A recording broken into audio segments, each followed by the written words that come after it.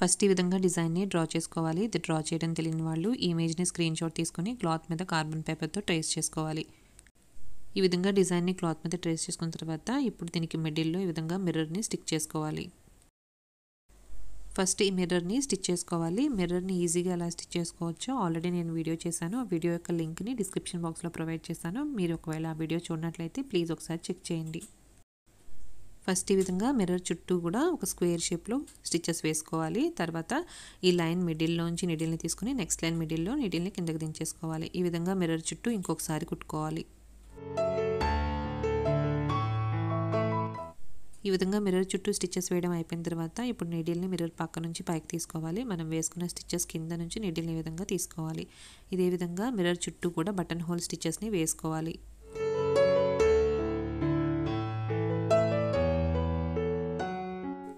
ఈ విధంగా మిర్రర్ చుట్టూ కుట్టడం అయిపోయిన తర్వాత ఇప్పుడు నీడిల్ని కిందకి దించుకొని ముడి వేసుకోవాలి.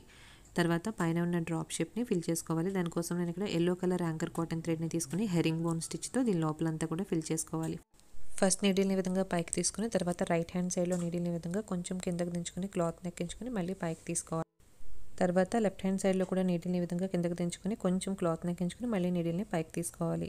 ఈ విధంగా ఆల్టర్నేటివ్గా ఒకసారి లెఫ్ట్ హ్యాండ్ సైడ్లో ఇంకొకసారి రైట్ హ్యాండ్ సైడ్లో కుట్టుకుంటూ మొత్తం ఈ పెట్టెలంతా కూడా ఫిల్ చేసుకోవాలి. మీరు కావాలనుకుంటే ఈ హెరింగ్ బోన్ స్టిచ్కి బదులుగా లాంగ్ అండ్ షార్ట్ స్టిచ్ని కానీ లేదంటే సాటిన్ స్టిచ్తో కానీ ఫిల్ చేసుకోవచ్చు.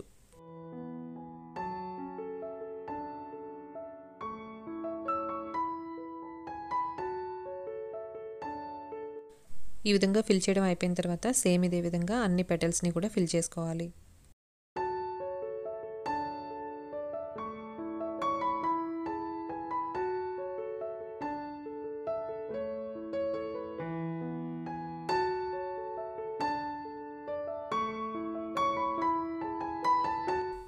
ఈ విధంగా పెటల్స్ అన్ని ఫిల్ చేయడం అయిపోయిన తర్వాత ఇప్పుడు కింద ఉన్న లీవ్స్ని కూడా ఫిల్ చేసుకోవాలి. దానికోసం నేను ఇక్కడ గ్రీన్ కలర్ యాంకర్ కాటన్ థ్రెడ్ని ఈ లీఫ్ యొక్క కార్నర్ నుంచి పైకి తీసుకోవాలి. తర్వాత కొంచెం డిస్టెన్స్లో మిడిల్లో నీడిల్ని కిందకి దించేసుకోవాలి. ఇప్పుడు లెఫ్ట్ హ్యాండ్ సైడ్ నుంచి నీడిల్ని పైకి తీసుకొని మిడిల్లో కిందకి దించేసుకోవాలి. తర్వాత రైట్ హ్యాండ్ సైడ్ నుంచి నీడిల్ని పైకి తీసుకొని మిడిల్లో కిందకి దించేసుకోవాలి. ఈ విధంగా ఆల్టర్నేటివ్గా ఒకసారి లెఫ్ట్ నుంచి ఇంకొకసారి రైట్ హ్యాండ్ సైడ్ నుంచి నీడిల్ని పైకి తీసుకొని మిడిల్లో కిందకి దించేసుకుంటూ మొత్తం లీఫ్ అంతా కూడా ఫిల్ చేసుకోవాలి. సేమ్ ఇదే విధంగా ఇంకొక లీఫ్ని కూడా ఫిల్ చేసుకోవాలి.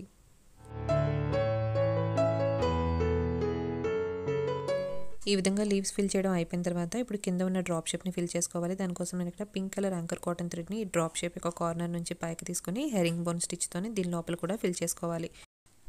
సేమ్ ఇంతకుముందు ఎల్లో కలర్ థ్రెడ్తో పైన ఫిల్ చేసుకున్న పెటల్స్ లాగానే దీన్ని కూడా ఫిల్ చేసుకోవాలి.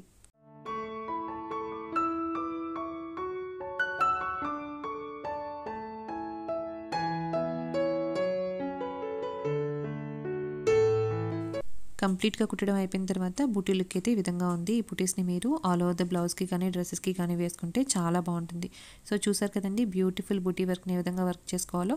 నా వీడియో కనుక మీకు నచ్చితే ప్లీజ్ లైక్ చేయండి. మీ ఫ్రెండ్స్కి కూడా షేర్ చేయండి. కామెంట్ చేయండి అండ్ సబ్స్క్రైబ్ చేసుకోవడం మాత్రం మర్చిపోవద్దు. Thanks for watching.